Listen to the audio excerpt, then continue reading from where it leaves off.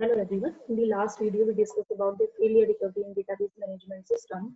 What were the various types of failures may be arise in the database, as well as how if the failure occurs, then with the help of log-based files, how we can recover our database using the log file like uh, undo logging, redo logging, and undo redo logging both.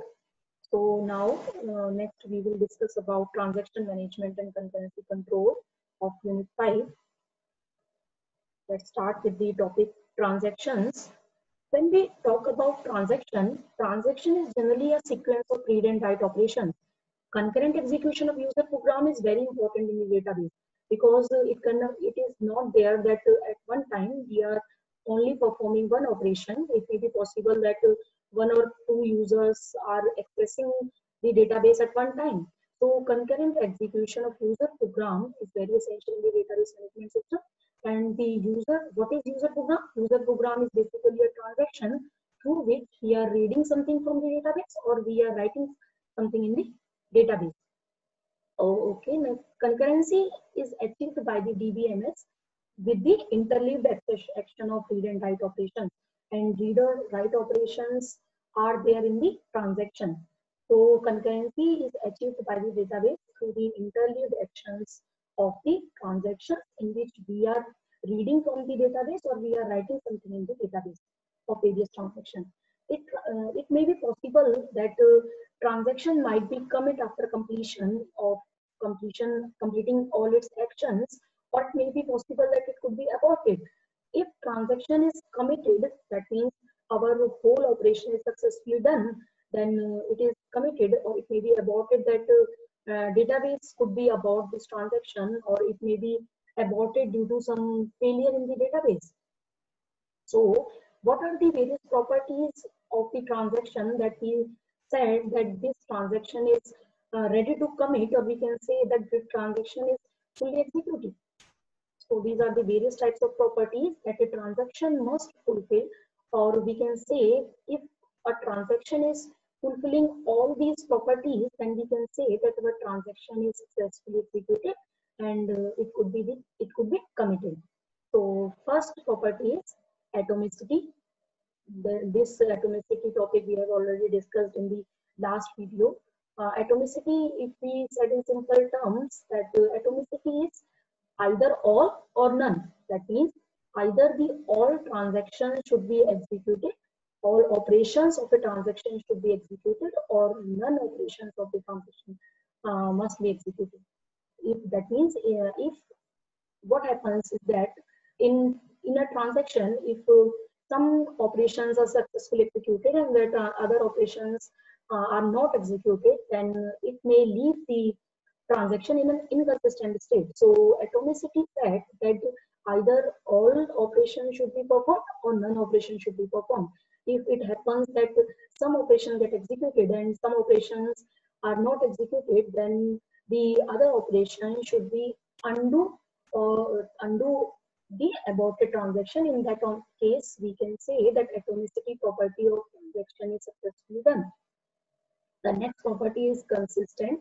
Each transaction must leave the database in a consistent state.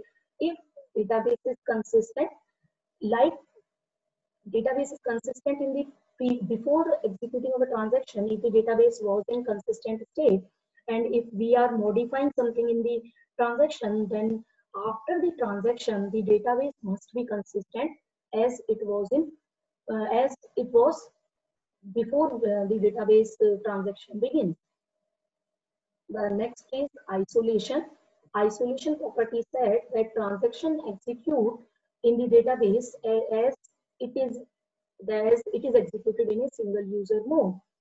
And last is durability. If all operations are performed, then once a transaction commit, the changes are recorded permanently in the database. And if the transaction get commit, then it cannot be aborted. It means uh, if the, if we talk about the property of durability, then if a transaction commit, that means the whole operation is changed in the disk file as, a, as well as in the log file. After the commit operation, we cannot abort our, our database or the, uh, the database cannot be abort that particular transaction. So these are these were the four properties a transaction must execute. First was the atomicity. Second, in which we told that uh, either all transactions should be executed or none transactions should be executed. Second one was consistency. Consistency, uh, we can understand it with one example like if we are transferring some amount from one one account to another account, it may be possible that amount get deducted from the one account, but it is not added to the other account. In that case, in one account it will get deducted. So the and another account is not being added. So transaction in that case, database will not be in consistent state. So the if we are saying that transaction is in consistent state, so it, uh, then the account deducted in one account should be added to the other account. Then only we can say that database is in consistent state. So the next property was isolation, in which uh, we told that uh, each transaction should be run like a single user mode. And last is durability, in which we say that once a transaction commit, we cannot roll back our transaction or the database cannot abort that particular transaction. Let's uh, see one example. Here we are taking the two transactions, T1 and T2, in which one transaction we are adding 100 values in A and uh, we are subtracting 100 from B. Similarly, in transaction T2, and uh, in transaction T2, we are, uh, the second is crediting both account with a 6% interest payment. We are, uh, in both account A and B, we are crediting 6% interest payment in both A and B account. So uh, it in two in these two transactions it is not guaranteed that whether transaction T1 will execute first or T2 will get executed first. But uh, this uh, the operations in which these transactions will get executed will definitely affect our schedule. Like uh, we see in this example, there are two schedules. This is one schedule and this is another schedule uh, which are having the transactions which we have discussed. We are taking these two transactions in both of these two schedules. Let's start. Let's say in transaction T1, we have added the values 100 then transaction T2 is calculating the interest 6%, crediting the in account A. Then it is subtracting the value 100 from B account. And then it is crediting the 6% interest in the B account. This is the schedule one. Now this is okay. But now let's say see this schedule in which we are adding the value 100 in account. This is okay. It's like in schedule one, we are adding the value 100 in account A and uh, after that we were calculating the value we are calculating the 6% interest in A. But the changes comes here. In the schedule 1, we were subtracting the value 100 in B account and then we were crediting the 6% interest in B account. In schedule B, what we are doing, we are crediting the interest before subtracting the value of 100. So these schedules, both schedules perform operations differently. So in this case, the values of both schedules may be differ from one account to the another.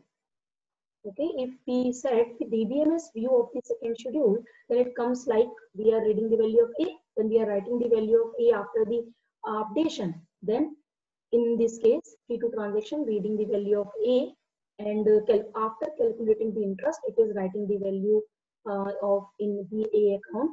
Then it is reading the value of B and then after calculating the interest, it is adding the value, um, it is uh, transferring the interest into the P account. Then it is reading the value and then after subtraction, it is writing the value of B. So the schedule could be serialized, serializable, yet the schedule could be uh, equivalent schedule or the schedule can be serializable schedule. These are uh, various types of schedules that is uh, taken in the database management system that uh, we will discuss in the next slide. So let's discuss what is first is serial schedule. Okay, serial schedule. What is serial? Serial uh, serial means in which we are performing one operation and then we are performing the second operation. Uh, this is known as serial schedule. So schedule does not interleave the action of different transactions. In this case, we can say that uh, schedule is serial. If we are, we will take the example of uh, previous example, then if we are saying that First of all, the transaction T1 will perform an operation, then uh, we start with the B, then uh, the transaction, uh, the all operation will be performed uh, by the uh, B transaction. So in serial schedule, uh, schedule that does not interleave the action of different transaction is known as the serial schedule in which we perform one operation and then, then we will start the next operation. This is known as serial schedule. The next is equivalent schedule. For any database state, the effect on the set of objects in the database of executing the first schedule is identical to the effect of executing the second schedule. If, what is equivalent? Equivalent means the similar.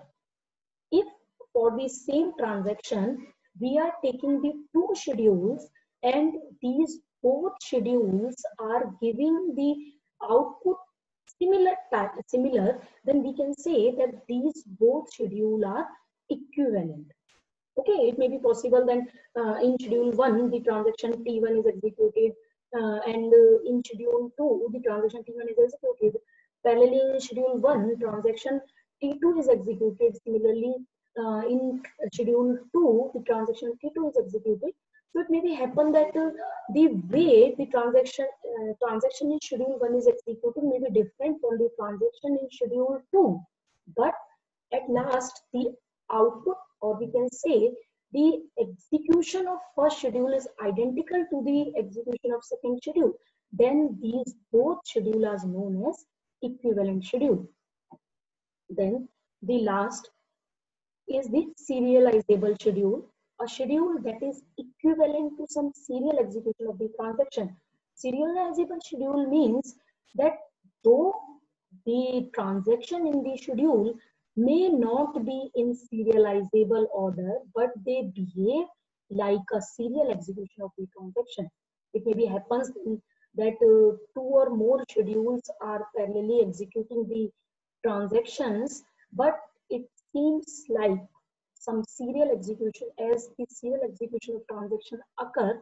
Similarly, a schedule that is equivalent to some serial execution of the transaction is known as serializable schedule. Okay, the one important note is there. If each transaction preserve consistency, every serializable schedule preserve consistency. We can say that as serializable schedule executed like this, like the serial execution of the transaction. So if there was the consistency during the time, during the start of the transaction, then every serializable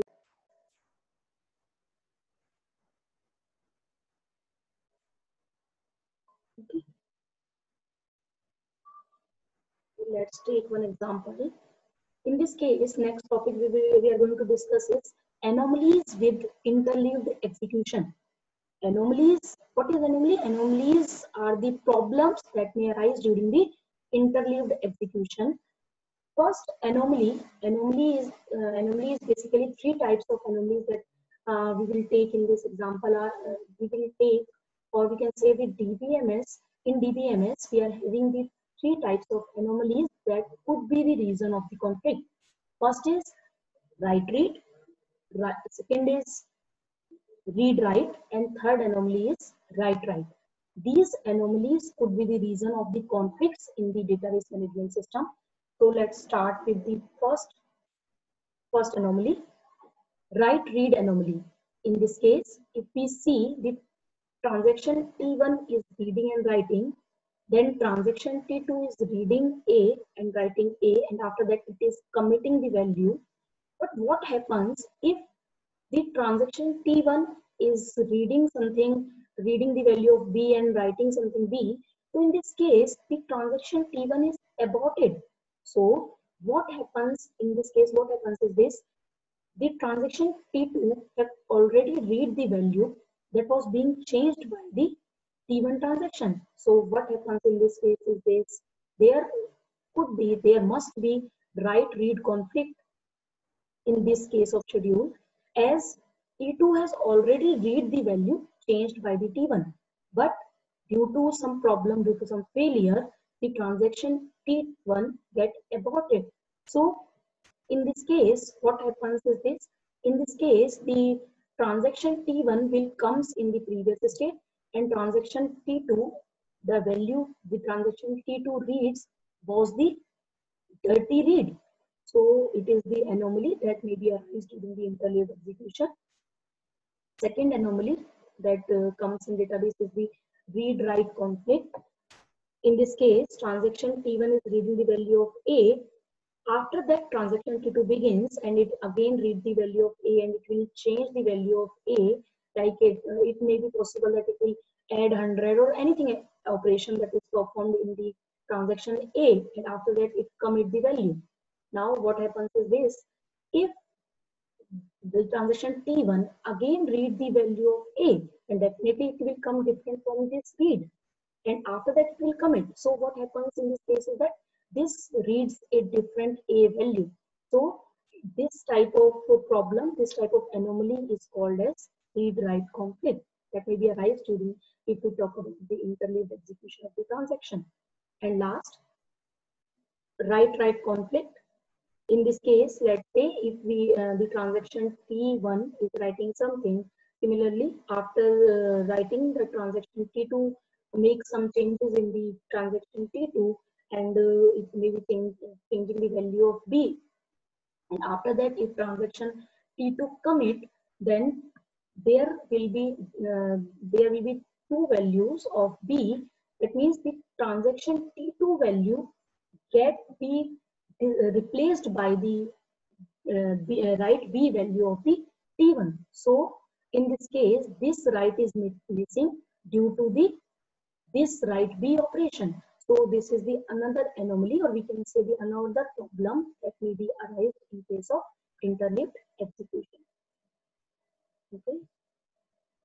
Now this is the next uh, topic aborting a transaction. That means what happens when uh, a transaction get aborted. Definitely if transaction get aborted, then the whole transaction uh, must be aborted in this case. But if a transaction Ti is aborted, then uh, then all operations must be undone. But not only that, if Tj reads an object that is written by Ti, then Tj must be aborted. Okay. Um, what is this case? Like uh, if we are saying in this case that uh, we are facing a problem, that uh, in this case the transaction T2 get commit and transaction T1 get aborted. In this case, the T2 was reading the value that was retrieved by the uh, T1. So in this case, not only the transaction T1 get aborted or uh, the operation of T1 get uh, undo, the operations of T2 must be aborted if we want our transaction to be in consistent state. So this type of operation, uh, which we say that uh, if one trans if due to one problem, due to a problem in one transaction, if we are aborting the all transactions of the schedule, then this type of abortion or this type of abort operation is called as cascading abort. Okay. In schedule, if we are saying that there are two transactions and due to the problem in one transaction, we are aborting the transaction T1 and T2 both, then this operation is known as cascading abort. Okay, or uh, if we are aborting something, then we could take the help of the log file that we have already discussed. We use, we could use the operation of undo logging. We can use the operation of redo logging, or we can use the operation like undo and redo logging. Too. Okay, uh, like uh, log files, we have already discussed that in log file we write the uh, changes and from which uh, write ahead lookup protocol we could use and uh, with the log based file we can recover our data um, and um, in the uh, log file we could know that uh, what which transaction that commit and which transaction was aborted. That was the topic that uh, recovery algorithm follows. That means first is the analysis, analysis of checkpoint. Checkpoint uh, was the topic that we covered in the last video. And uh, redo operation, we will redo all the dirty pages uh, that may arise the problem that was not committed or we could undo the logging. These topics we have already discussed. Now, the topic that comes is conflict serializable schedule. what is conflict serializable schedule? When we say that these serializable schedules are conflict serializable schedule, uh, serializable schedule means that means the schedule should be serializable. That is, one operation is performing after the another. Though there may be the conflicts. So when we say that this schedule is serializable, we will find with the help of directed graph before this. We know what is conflict serializable schedule. Two schedules are conflict, equivalent if it involves the same actions of the same transaction. First is that the, if both schedules are performing the operations, all operations, then we can say that it is conflict serializable schedule. And second is every pair of conflicting action is ordered in the same way, like what operations we are doing in transaction T1 in schedule, in schedule 1, same similar type of operations of uh, transactions must be performed in the schedule B. The schedule S is conflict serializable if S is conflict equivalent to some serial schedule.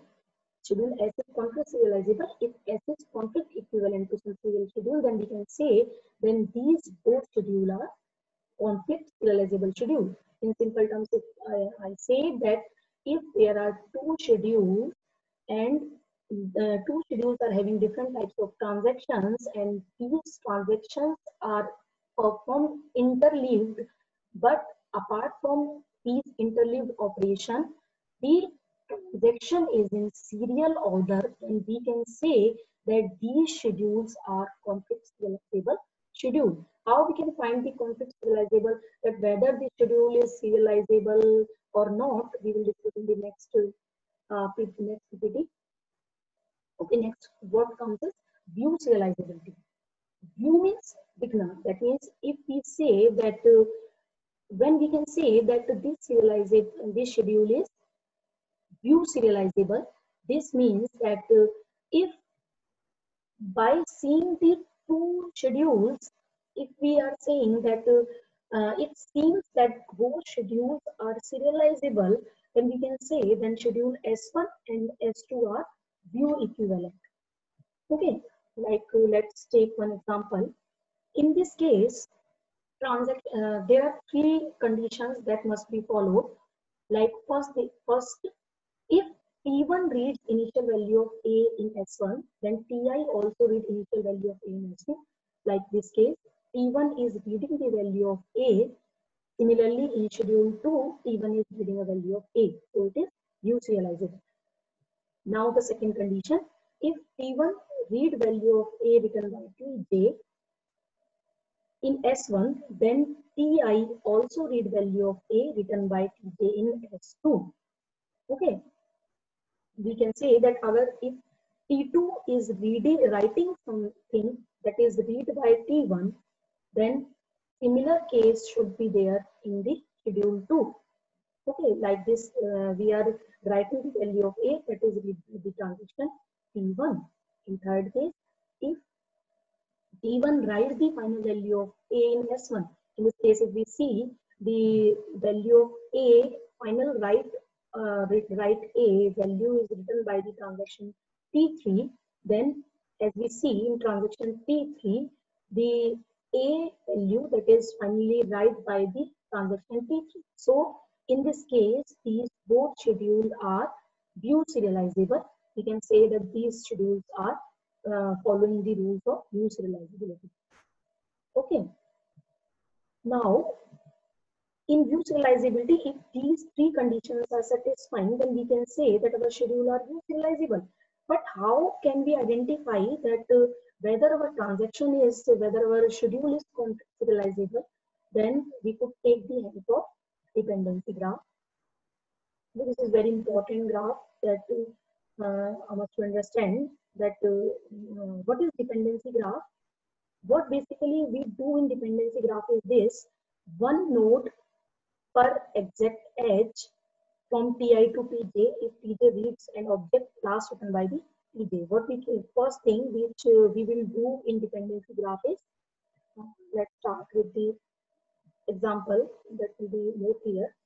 In this case, we are taking the transaction T1 and T2. In this case, if there will be, first of all, draw, make the two nodes of the transaction that are there in the uh, schedule. In this schedule, we are having the two transactions, T1 and T2. So we will make the two circles, uh, two nodes with these transactions. And now we see that if there is any conflict, uh, conflict could be three types that we have already discussed, read-write conflict, read-write conflict, and write-read conflict. So if there any one of the conflict arise in these transaction, then we must draw a line from T1 to T2. Similarly, in case T2 to T1. Let's say if T1 is reading a value and similarly T1 is reading a value, in this case no conflict is there. But if we see that uh, T1 is writing a value of A, T2 is also writing a value of A. So there is a conflict, right, right conflict from T1 to T2. So we will draw this line. Similarly, if in this case, after T2, again T1 transaction is executed, which is in case of read read, there is no conflict, but we are writing the value of B. Similarly, T1 is also writing the value of B. So this is write write conflict. Similarly, if, in, if we see this case, reading the value of B and this is writing the value of B. So there could be the read write conflict or write write conflict. So we make this uh, line from T2 to T1. Now, what happens is this, if there is a cyclic graph, then it is not the conflict serializable schedule. But if, uh, as we can say that T1 is goes to T2 and again T2 is goes to T1 and so on. So there is one cyclic graph. So this schedule is not conflict serializable schedule. And uh, in some cases, it happens that uh, um, they, if there will be no cyclic graph, then only we can say that this schedule is conflict serializable schedule. Okay, so that was all about the uh, schedule topics regarding the views, what is the view serializability, what is uh, conflict serializability, and how we can identify whether our schedule is conflict serializable or not with the help of dependency graph. Okay, thank you so much. In the next video, we will discuss the remaining uh, topics, some topics of Unit 5 uh, like log based protocol, timestamp based protocol, and deadlock. These are the three topics uh, that are left now. Uh, you can send me any query at uh, if you are facing any problem. And uh, hope you all are doing well and you will prepare uh, your topics accordingly. Okay, thank you so much.